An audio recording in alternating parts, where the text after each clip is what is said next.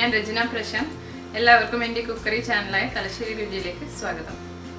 എന്റെ ആദ്യത്തെ ലഡു റെസിപ്പി വളരെ ഇഷ്ടമായി എന്ന് കുറേ പേർ നേരിട്ടും അല്ലാതെയും പറഞ്ഞിരുന്നു.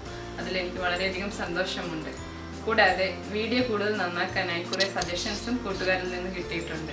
അപ്പോൾ അതൊക്കെ ഇൻക്ലൂഡ് ചെയ്തുകൊണ്ട് ഇത്തവണ ഞാൻ വന്നിരിക്കുന്നത് എല്ലാവർക്കും ഏറെ ഇഷ്ടമുള്ള തലശ്ശേരി ബിരിയാണിയുമായിട്ടാണ്. അപ്പോൾ നമുക്ക് അതെങ്ങനെയാണ് ഉണ്ടാക്കുന്നതെന്നും തലശ്ശേരി ബിരിയാണിയുടെ ഏറ്റവും പ്രധാന ഘടകമായ സ്പെഷ്യൽ ബിരിയാണി മസാല ഉണ്ടാക്കുന്നതിനാവശ്യമായ ഹോൾ സ്പൈസസ് ഒരു ടീസ്പൂൺ കുരുമുളക് മൂന്ന് ഏലക്ക മൂന്ന് ഗ്രാമ്പു ഒരു തക്കോലം രണ്ട് കറുവപ്പട്ട രണ്ട് ചുവന്ന മുളക് അര ടീസ്പൂൺ കസ്കസ് കാൽ ടീസ്പൂൺ ഷാഹി ജീരകം കാൽ ടീസ്പൂൺ സാദാ ജീരകം കാൽ ടീസ്പൂൺ പെരുംജീരകം രണ്ട് ജാതിപത്രി ഒരു ചെറിയ കഷ്ണം ജാതിക്ക. നമുക്ക് ഇനി ഈ സ്പൈസസിനെ മുഴുവൻ ഈ പാനിൽ ഇട്ടിട്ട് ഒന്ന് ചൂടാക്കി എടുക്കാം അപ്പോൾ കക്കസ് ഒഴികെയുള്ള ബാക്കി സ്പൈസസ് ഞാൻ നന്നായി ചൂടായ ഒരു പാനിലേക്ക് മാറ്റുകയാണ്.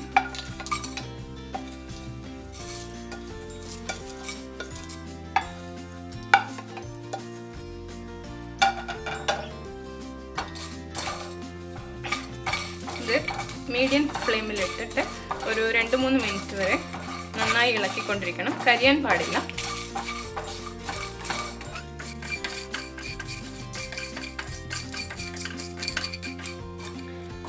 ഇനി ഇതിലേക്ക് കസ്കസും കൂടെ ആഡ് ചെയ്യാം.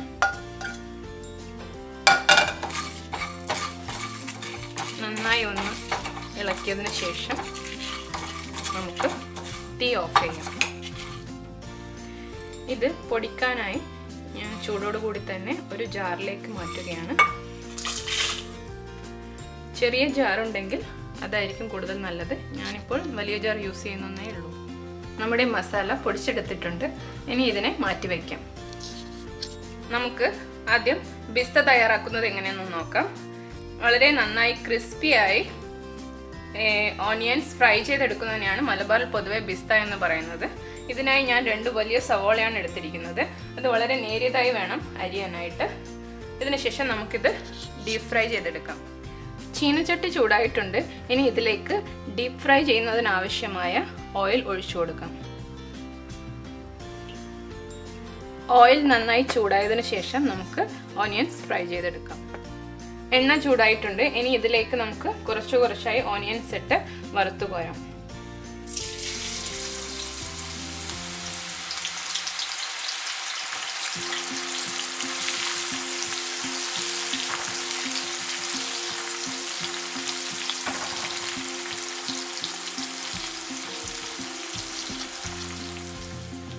ഇപ്പോൾ നമ്മുടെ ഓണിയൻസ് നന്നായിട്ട് ബ്രൗൺ നിറമായിട്ടുണ്ട്. ഇനി ഇത് നമുക്ക് കോരി മാറ്റാം.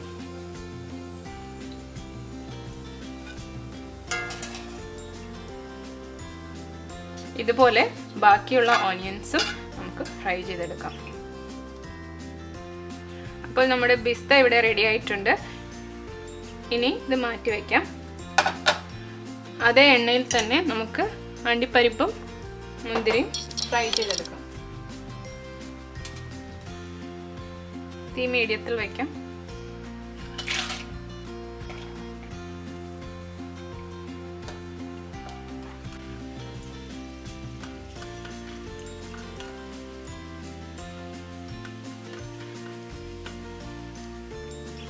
കാഷ്യൂ നട്ടിന്റെ കളർ മാറി വരുന്നുണ്ട്. ഇനി ഇതിലേക്ക് മുന്തിരിയും കൂടെ ഇട്ട് ഫ്രൈ ചെയ്തെടുക്കും. മുന്തിരി ഇട്ട് കഴിഞ്ഞാൽ അധിക സമയം വയ്ക്കേണ്ടതില്ല ജസ്റ്റ് ഒന്ന്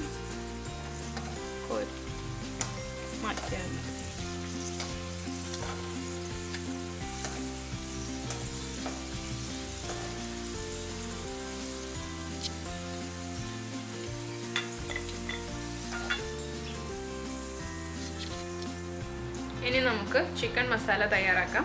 അതിനാവശ്യമായ സാധനങ്ങൾ നാലല്ലി വെളുത്തുള്ളി ഒരു ചെറിയ കഷ്ണം ഇഞ്ചി നാല് പച്ചമുളക് എന്നിവ കല്ലിൽ ചേർത്ത് ചതച്ചെടുത്ത ജിഞ്ചർ ഗാർലിക് ചില്ലി പേസ്റ്റ് രണ്ട് മീഡിയം തക്കാളി അരിഞ്ഞെടുത്തത്.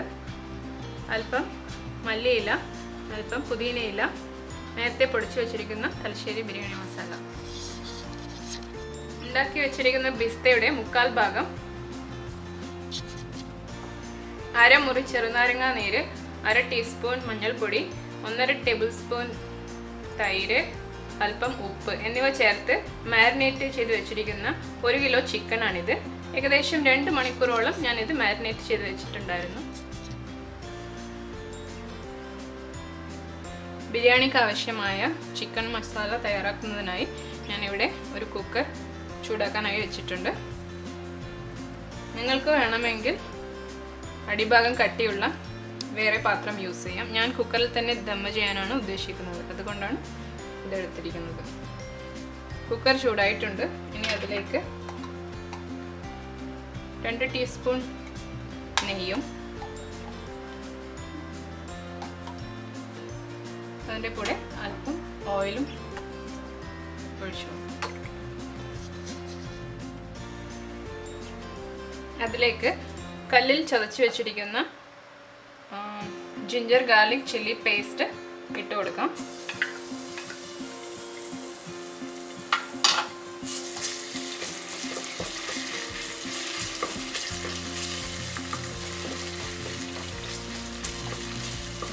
പിന്നീട് ചെറുതായി അരിഞ്ഞു വെച്ചിരിക്കുന്ന രണ്ട് തക്കാളി അതിലേക്ക് ചേർത്ത് കൊടുക്കാം.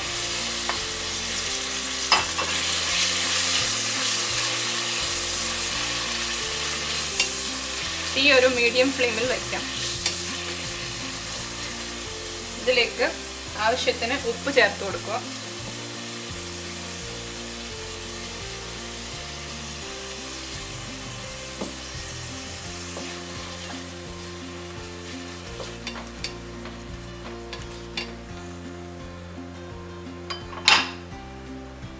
ഇനി ഒരു രണ്ട് മിനിറ്റ് നമുക്ക് കുക്കറിന്റെ അടപ്പ് ഇട്ട് കൊടുത്ത് തക്കാളി ഒന്ന് വേവുന്നത് വരെ വെക്കാം. രണ്ട് മിനിറ്റ് കഴിഞ്ഞിട്ടുണ്ട് നമുക്കിനി അടപ്പ് മാറ്റിയതിന് ശേഷം ഒന്ന് നോക്കാം. ഇതിന്റെ പച്ചമണമൊക്കെ മാറി തക്കാളി ഒന്ന് വാടി തുടങ്ങിയിട്ടുണ്ട്. അതിലേക്ക് നമ്മൾ നേരത്തെ പൊടിച്ചു വെച്ചിരിക്കുന്ന സ്പെഷ്യൽ തലശ്ശേരി ബിരിയാണി മസാല ഒരു രണ്ട് ടേബിൾ സ്പൂൺ ഇട്ട് കൊടുക്കാം.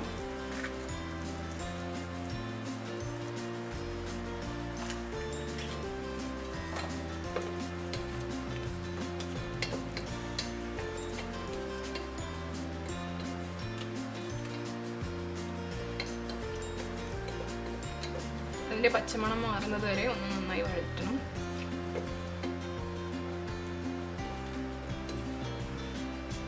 ഇനി ഇതിലേക്ക് നമ്മൾ രണ്ട് മണിക്കൂർ മുന്നേ മാരിനേറ്റ് ചെയ്ത് വെച്ചിരിക്കുന്ന ഒരു കിലോ ചിക്കൻ അതായത് നാരങ്ങാ നീര് തൈര് ഉപ്പ് മഞ്ഞൾപ്പൊടി എന്നിവ ചേർത്ത് മാരിനേറ്റ് ചെയ്ത് വെച്ചിരിക്കുന്ന ചിക്കൻ ഇതിലേക്ക് ഇട്ട് കൊടുക്കാം.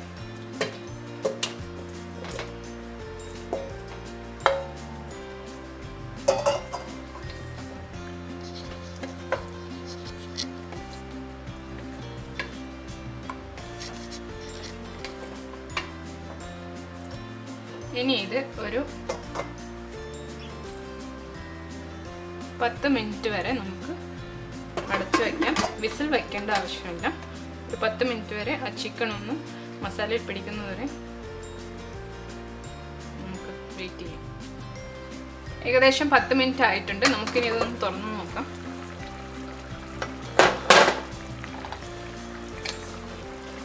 ചിക്കനൊക്കെ ഏതാണ്ട് വെന്ത് വരുന്നുണ്ട്.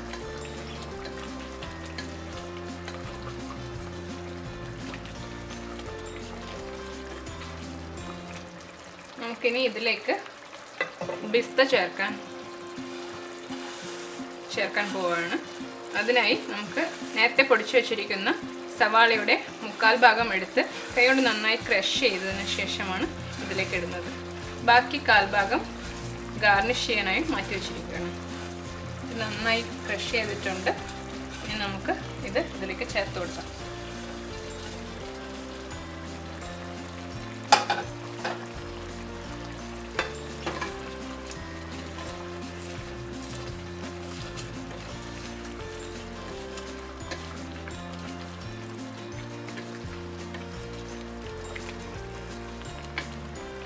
ബിസ്ത ചേർക്കുമ്പോൾ തന്നെ നമുക്കൊരു നല്ലൊരു സ്മെല്ല് വരുന്നുണ്ട്.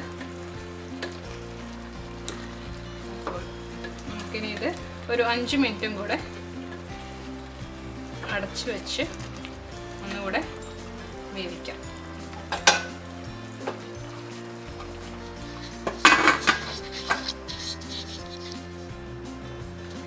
അഞ്ച് മിനിറ്റ് ആയിട്ടുണ്ട്. നമുക്കിനി ഒന്നുകൂടെ തുറന്ന്.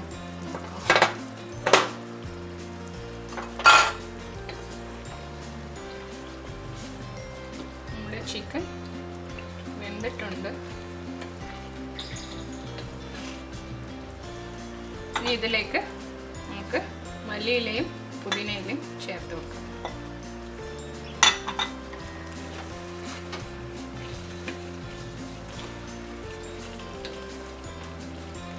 ഉപ്പ് നോക്കിയതിന് ശേഷം വേണമെങ്കിൽ നിങ്ങൾക്ക് ഈ സമയത്ത് ഇതിലേക്ക് ചേർക്കാവുന്നതാണ്. ഞാൻ നോക്കിയിരുന്നു. അപ്പോൾ പാകത്തിന് ഉപ്പുണ്ട്.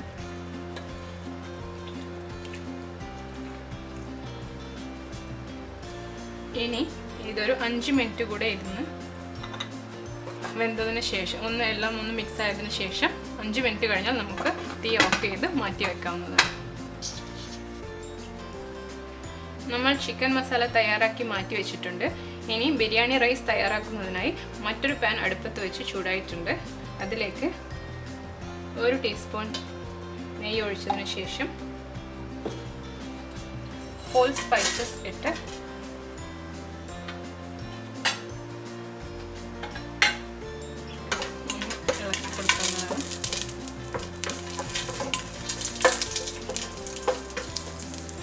അതിലേക്ക് ഒരു ചെറിയ മുറി സവോള കുനുകുന അരിഞ്ഞത് ഇട്ട് കൊടുക്കാം. അത് അരിക്ക് സവാളയുടെ ഒരു നല്ലൊരു ഫ്ലേവർ കിട്ടാൻ വേണ്ടിയിട്ടാണ്.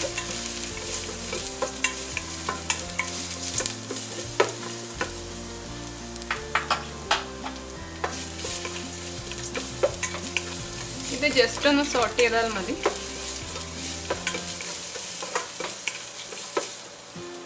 അതിനുശേഷം ഇരുപത് മിനിറ്റ് കുതിർത്ത് വെച്ചതിന് ശേഷം കഴുകി വെള്ളം സ്ട്രെയിൻ ചെയ്യാൻ വെച്ചിരിക്കുന്ന റൈസ് നമുക്ക് ഇതിലോട്ടിടാം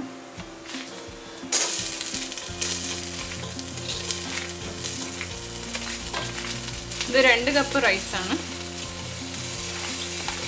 ശരിക്കും ജീരകശാല റൈസാണ് തലശ്ശേരി ബിരിയാണിക്ക് യൂസ് ചെയ്യാറ്.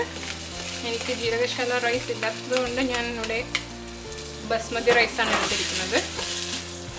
നന്നായിട്ടൊന്ന് സോസ് ചെയ്യാം. ബസ്മതി റൈസ് യൂസ് ചെയ്യുമ്പോൾ നമുക്ക് അത് ഒരു ഇരുപത് മിനിറ്റെങ്കിലും കുതിർത്ത് വെച്ചതിന് ശേഷം യൂസ് ചെയ്യുകയാണെങ്കിൽ റൈസ് നല്ല ഫ്ലഫി ആയിരിക്കും.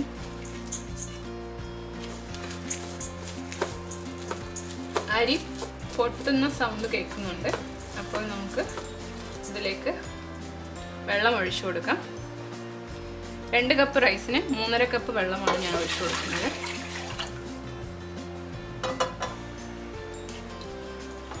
ഇനി ഇതിലേക്ക് ആവശ്യത്തിന് ഉപ്പ് ചേർക്കാം.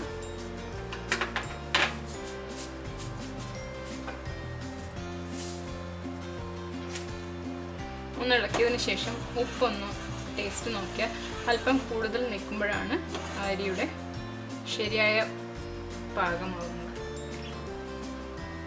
ഉപ്പ് പാകത്തിനുണ്ട് ഇനി നമുക്ക് ഇത് അടച്ചു വെച്ച് മീഡിയം ഫ്ലെയിമിൽ പത്ത് മിനിറ്റ് കഴിഞ്ഞ് തുറന്നു നോക്കാം.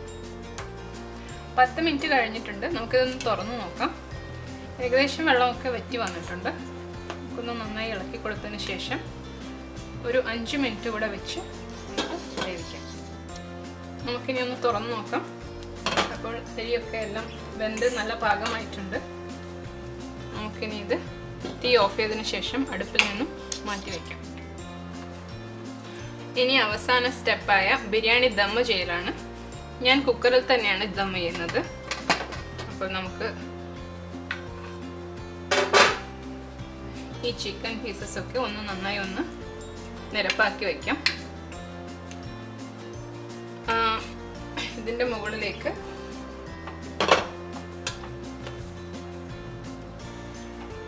റൈസ് ഇട്ട് കൊടുത്ത് നിരപ്പാക്കേണ്ടതാണ്.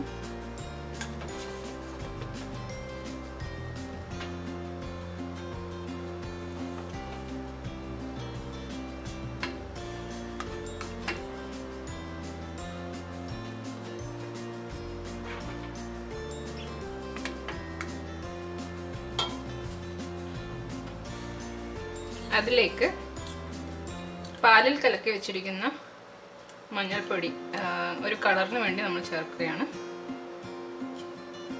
നിങ്ങൾക്ക് ഇതിന് പകരം ഫുഡ് കളർ ചേർക്കാവുന്നതാണ്.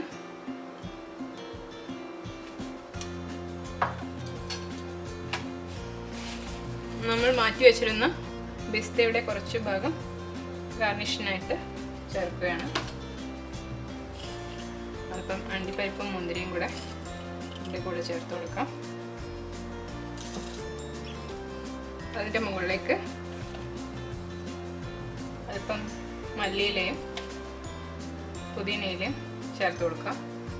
വീണ്ടും ഒരു ലെയർ കൂടെ നമുക്ക് അരി സെറ്റ് ചെയ്യാം.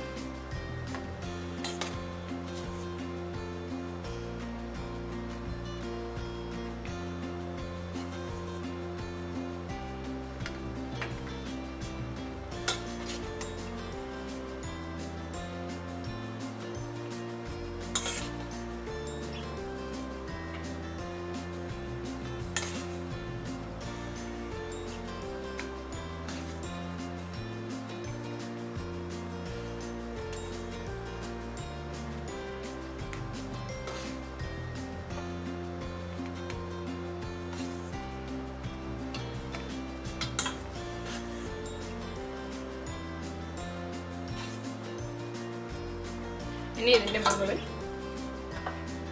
ഒരു തവണ കൂടെ.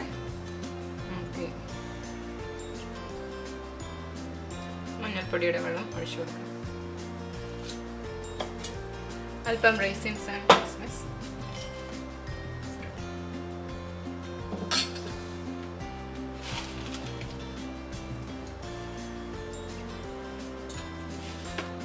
കുറച്ച് പിസ്ത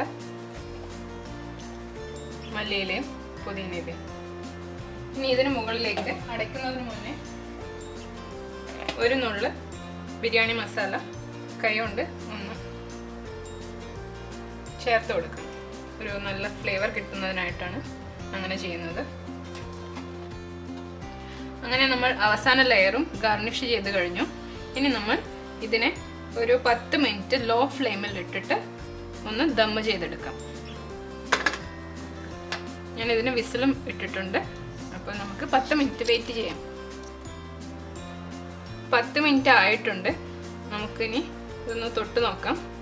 സൈഡിലും മുകളിലും തൊടുമ്പോൾ നല്ല ചൂടുണ്ട്. ഇതിൽ നിന്നും ആവി എല്ലായിടത്തും എത്തിയെന്ന് മനസ്സിലാക്കാം. ഇനി നമുക്ക് തീ ഓഫ് ചെയ്യാം. ഇത് തുറക്കുന്നതിന് മുന്നേ ഒരു കാര്യം കൂടെ. ഞാനിവിടെ കുക്കർ മാത്രമായിട്ടാണ് യൂസ് ചെയ്തിരിക്കുന്നത്.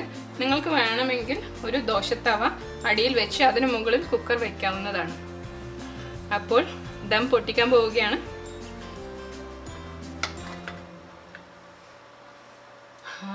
നല്ല സ്മെൽ വരുന്നുണ്ട്. നിങ്ങൾക്ക് കാണാൻ പറ്റുന്നുണ്ടോ എന്നറിയില്ല. ഇതിന്റെ മുകളിൽ ആവി വരുന്നുണ്ട് ചെറുതായിട്ട്. ഇനി നമുക്ക് ഇത് ഒരു സെർവിങ് ഡിഷിലേക്ക് മാറ്റാം. തലശ്ശേരി ബിരിയാണി സെർവ് ചെയ്യുന്നതിനും ഒരു പ്രത്യേക രീതിയുണ്ട്. ആദ്യം നമ്മൾ ഈ റൈസ് ഒക്കെ ഒരു ഭാഗത്തേക്ക് മാറ്റിയിട്ട് അടിയിൽ നിന്നും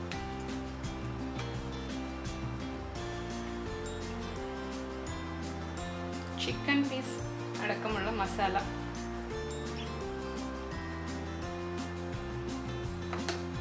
വയ്ക്കുന്നതാണ്. അതിന് മുകളിലായിട്ടാണ് നമ്മൾ റൈസ് ഇടുന്നത്.